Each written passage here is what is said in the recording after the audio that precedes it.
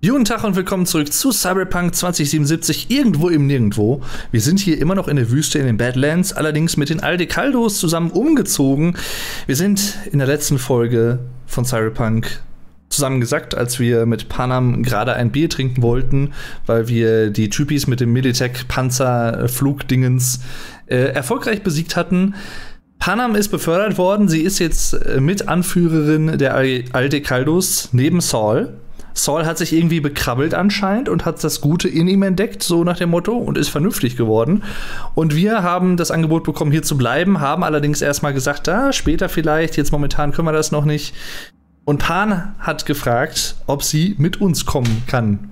Auf weiteren äh, Missionen. Durch, durch die Lände. Land, Lande. Paul Landers. Ja. Und hier sind wir.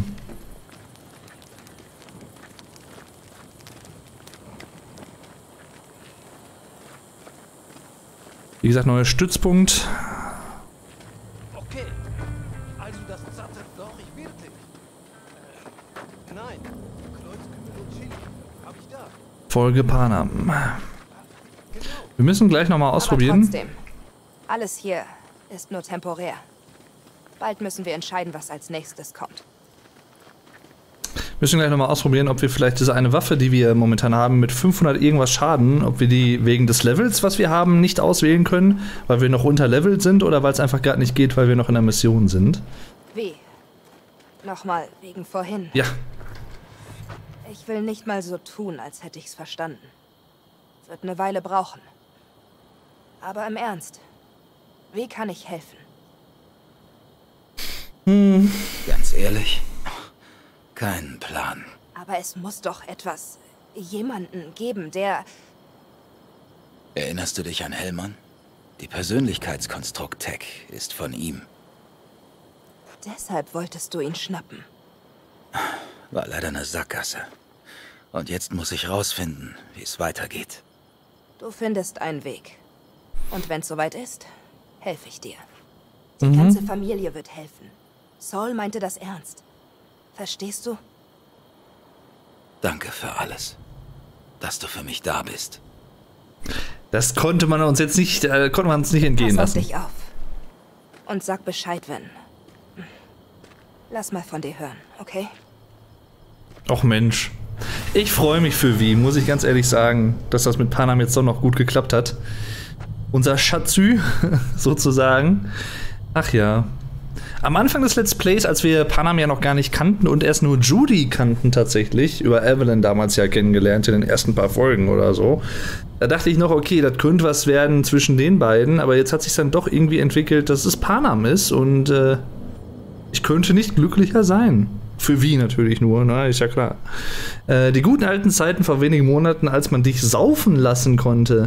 Ach so, du meinst über äh, Twitch und so, ja, ja. Ja, das habe ich aber auch nur für ein oder zwei Sessions gehabt und äh, von Tomb Raider 1 damals noch und dann habe ich das rausgenommen, weil das war mir dann doch ein bisschen zu spielflussbremsend, ehrlich gesagt. Deswegen nehmt's mir bitte nicht übel. Ich fand's ganz lustig, das war jetzt nicht das Problem. Aber ja. Ähm. So, jetzt gucken wir nochmal. Also, und zwar. Nee, wir sind nichts. Ach, guck mal, jetzt können wir es. Geil. Das heißt hier. Hm. 40, 343.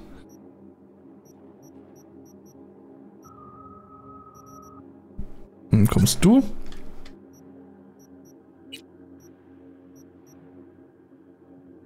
Muss ich denn eigentlich die, die Mods aus alten Waffen immer wieder rausnehmen oder haben wir die dann automatisch wieder zur Verfügung, wenn wir die woanders einsetzen wollen und können das dann einfach umkonfigurieren? Das ist noch nicht so ganz das, was ich jetzt gerade. Ähm. Okay. Interessant.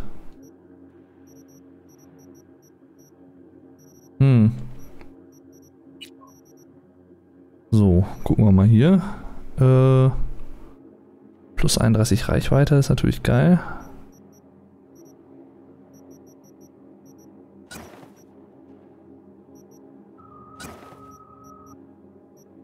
Kann man das... Wie mache ich das denn fallen lassen? Nee.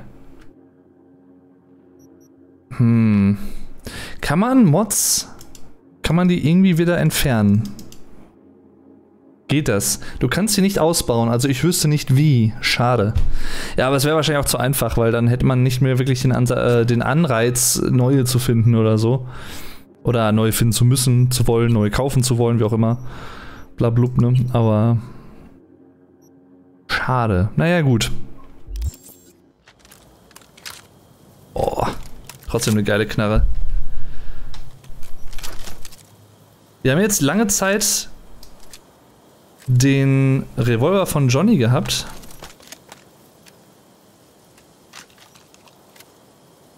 Cool. Und der hat uns auch echt gute Dienste erwiesen. Ich weiß noch, wie ich ganz am Anfang des Let's Plays davon richtig geflasht war. Und ich bin es eigentlich auch immer noch, aber das hier hat Spaß gemacht, muss ich sagen, in dem Militech-Ding hier umzudüsen. Da bloß ich kann... Nee.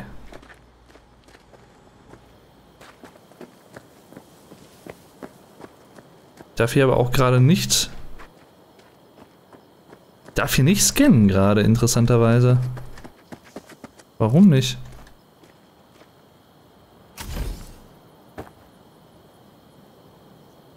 Hm. Nö, irgendwie nicht. Egal, äh, ich würde sagen, wir gucken mal. Hm, warte bis Nancy, Julie's Apartment. Wie viel Uhr haben wir denn überhaupt? 19.17 Uhr.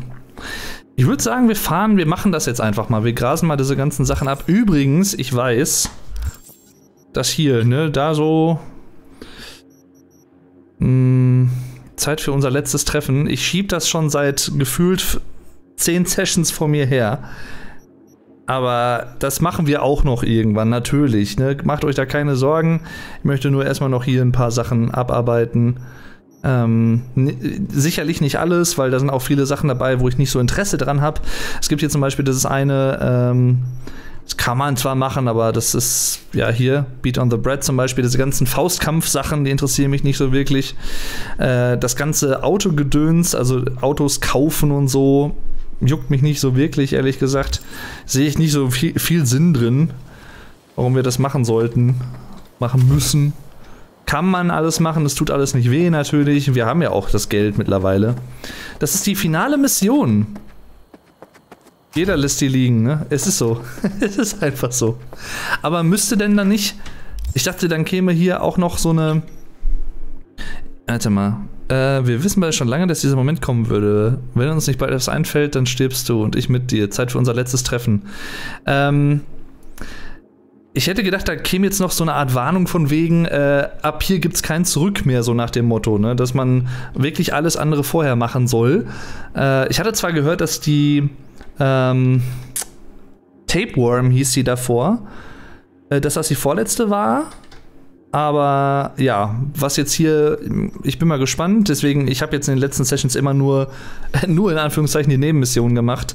Da werden wir jetzt auch noch ein bisschen äh, dranbleiben.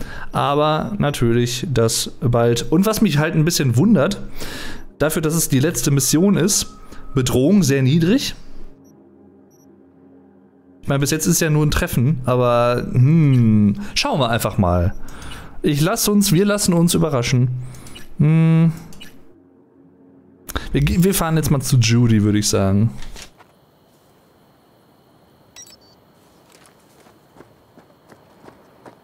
Wo ist denn... Das ist mein Porsche? Das ist eine... Nee. Wo ist denn hier... Warte mal. Ach du Scheiße. Okay. Apartment, dein Zuhause in Night City. Ja, ich glaube nicht. Also ja, irgendwo schon, aber nein. ähm, was ist denn, wenn ich jetzt einfach mich nach links drehe? Einfach jetzt nach links und dann so dahin darauf zulaufe. Das machen wir mal. Die gibt es vor Ort, also die Warnung. Das sind mehrere nacheinander. Da gibt es durchaus einige Tode, die auf dich zukommen. Okay, ich bin hier erstmal raus. Dir noch viel Spaß. Ja, vielen lieben Dank, dass du wieder eingeschaltet hast. Hat mich gefreut, dich mal wieder im Chat begrüßen zu dürfen. Mein Guter. Ähm, hoffe, es hat dir Spaß gemacht. Und äh, ja.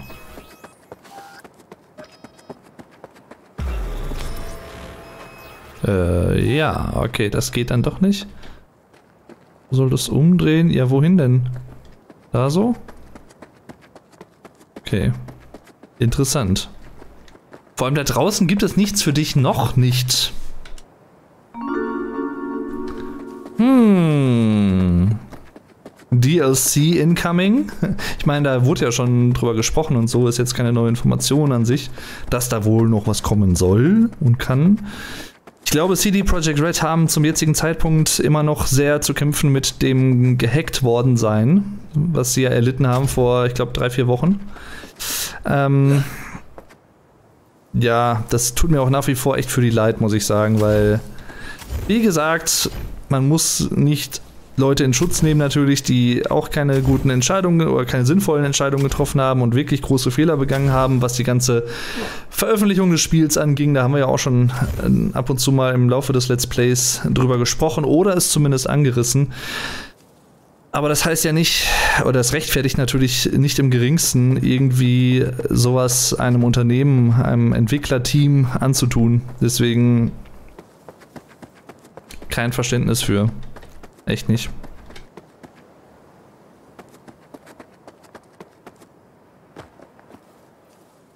Ja, wo ist denn, komme ich hier auch mal wieder irgendwo auf eine Straße oder so? Ja, nein. Genau andersrum. Also. So, so. Okay, ja, dann können wir jetzt erstmal eine Weile durch die Wüste laufen. Beziehungsweise am sinnvollsten wäre es, glaube ich, ins Lager zurück und eine Schnellreise ausnahmsweise mal zu machen. Ich glaube, das wäre am einfachsten. Machen wir, glaube ich, auch.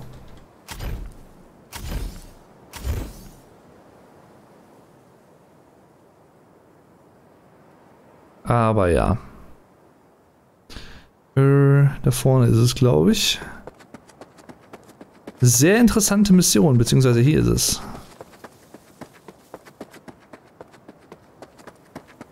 Schönen guten Abend. Der lurkende Mod. Also wirklich. Das ist eine Arbeitsmoral, du. Was geht, mein Guter? Genau.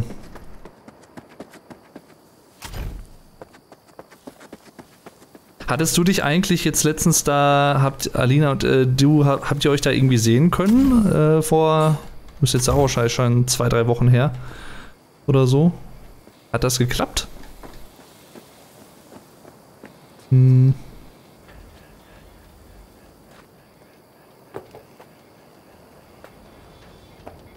So. Huch. Ach, Saul, hi später reden. Ja, ja, machen wir auch. Genau, hier hatten wir aufgehört. Ähm.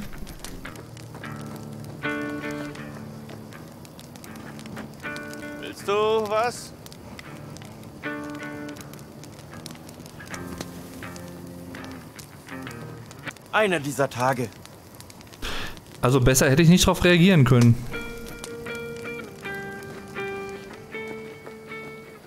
So. Wie gesagt, ausnahmsweise machen wir das jetzt mal, weil das wird alles andere wird, glaube ich, ein bisschen sehr lange dauern. Äh, und zwar möchte ich hier hin. So.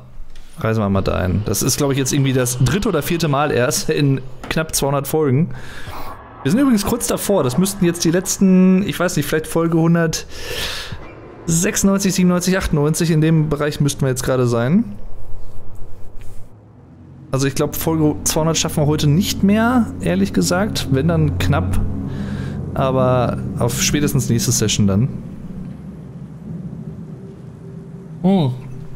Und ich freue mich auch schon, wenn ich das Let's Play durch habe, ähm, auch andere Let's Plays hiervon gucken zu können.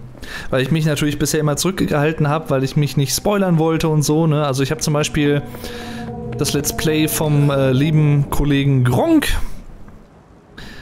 was ich auf jeden Fall gucken möchte und auch zum Beispiel das Let's Play von Co Carnage, amerikanischer Streamer, Kollege. Zumal das auch geil ist, weil das passt sehr gut, weil ich glaube, Gronk hat als Street Kid gespielt und Co Carnage als Konzerner. Also könnte ich wirklich beides mitnehmen. Und Co Carnage hat, glaube ich, auch einen 100% Run gemacht tatsächlich. Er hat alles mitgenommen. Das ist so, so ein King von ihm, wenn es um Spiele geht und sowas alles. Deswegen voll cool.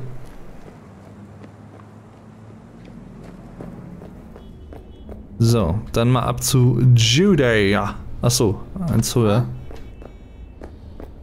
Hier wohnt sie ja, ne? Genau.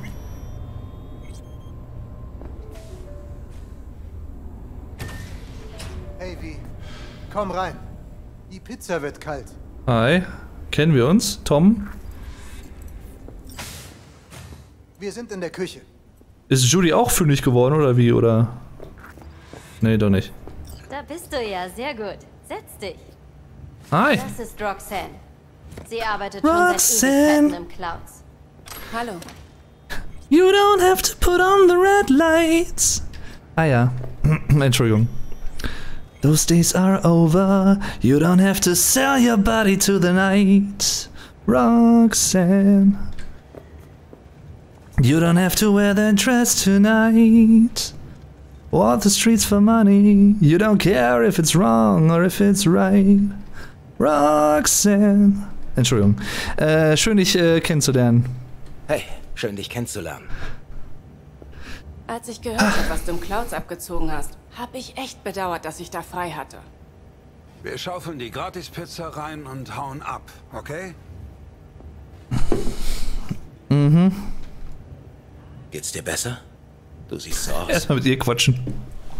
Autopilot. Ich denk nicht. Ich handel nur. Klingt sinnvoll. Hm. Also, wie lautet der Plan? Warten auf Maiko. Ach, Maiko macht das Würstchen. Ja, die alte, die brauche ich unbedingt. Den Leichengestank wirst du nie wieder los. Du machst doch viele kalt, oder? Was ist dein Geheimnis? Hm, ist dieser unvergleichliche Feinsinn angeboren? Oh ja. Und trotzdem feile ich ständig daran herum. Übrigens, Forrest ist heute nicht zur Arbeit erschienen. Oder gestern. Ich glaube, die ziehen wir mal ab und zu mal so ein bisschen auf. Der kommt nicht wieder. Warum? Muss ich dir kaum erklären. Ich? Ich weiß von nichts. Merkt ihr das? Seid ihr zwei bald fertig? Die Revolution plant sich nicht von selbst. Es macht Spaß, die aufzuziehen, die alte. Ich mag die nicht. Ich habe den Verhaltenschip so modifiziert, dass er Puppen ein Motorreflexsystem verpasst. Macht aus jeder Puppe einen knallharten 1A-Solokämpfer. Faszinierend, oder? Was man alles beim Tunen vorgetäuschter Orgasmen für die Mox lernt. Geh damit bitte raus. Hier drin wird nicht geraucht. Kannst ja später lüften. Ey. Egal. Rauche ich halt am Fenster. Truse, ey. Schon mal was von Manieren gehört und so? Der Körper reagiert, als wäre er perfekt auf Bewegungsabfolgen trainiert. Ich hab's schon an Tom getestet. Die Chip-Impulse ersetzen jegliche natürlichen Reflexe und versetzen den Benutzer in einen Cyberpsychose-ähnlichen Zustand. Mhm. Aber im Grunde ist es dasselbe, wie wenn wir uns für einen Kunden aktivieren. Okay. Solos beherrschen mehr als nur Bewegungsabfolgen. Da laufen mehrere Dinge in Millisekunden ab. Logistik, Entscheidungen. Geht nur mit jahrelanger Übung. Ich wette, die wird ein Chip kaum ersetzen können. Stimmt. Aber was Besseres fällt mir nicht ein. Die Alternative wäre intensives Training, aber die Zeit haben wir nicht. Hm. Wie bist du nur darauf gekommen? Hab gelernt, wie im Clouds die Chips funktionieren.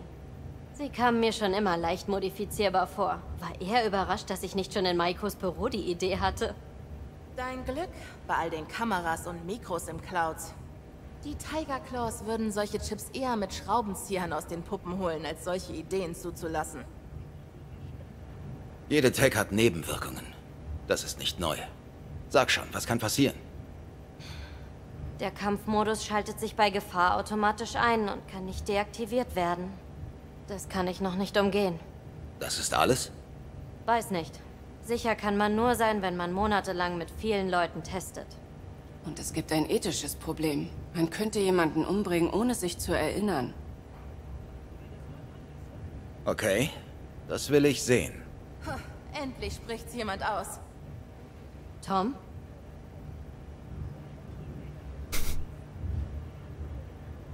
Das habe ich aus einer Kung-Fu-Trainingsvirtu. What?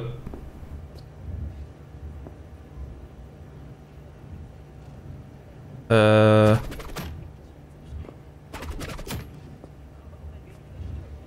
Ich geb's zu, das war cool. Vielleicht für den Marktplatz in Kabuki. Nein, bevor wir ernsthaft übers Geschäft reden, will ich was Handfestes.